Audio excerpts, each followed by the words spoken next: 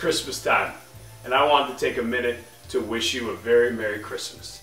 'Twas the night before Christmas, and all through the house, not a creature was stirring, not even a mouse. When down from the chimney came a man with blonde hair, covered in tattoos with skin that was quite fair. I think I picked out six perfect gifts for you that you would not only enjoy, but that you could really use. Phil came this Christmas to put gifts under the tree. Not a bike or a toy, but some happiness from M&P.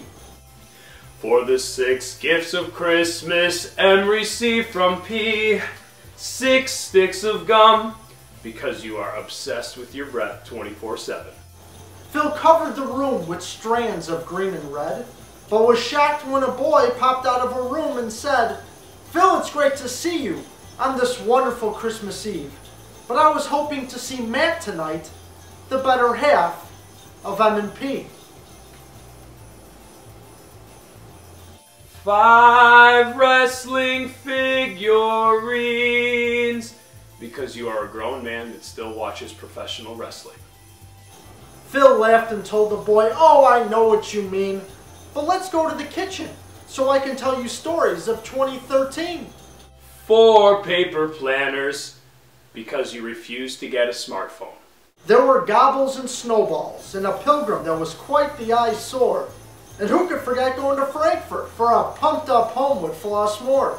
Three body trimmers, because you need to shave your wolf neck and clean up your collar line.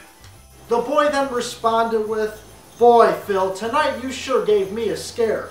But I'm going to forgive you, because you're the only Santa I know who admits to dyeing his hair. Two bags of Jay's potato chips. They're your favorite, man. Bad breath, but your favorite. That's why you have the gum. And last but certainly not least, and an 8x10 signed Phil selfie. Oh, little boy, it's off to bed. So go tuck yourself in tight. And Merry Christmas to all. And to all, a good night.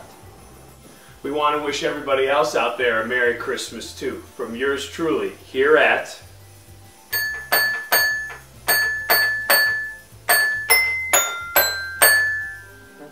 M&P Presentations.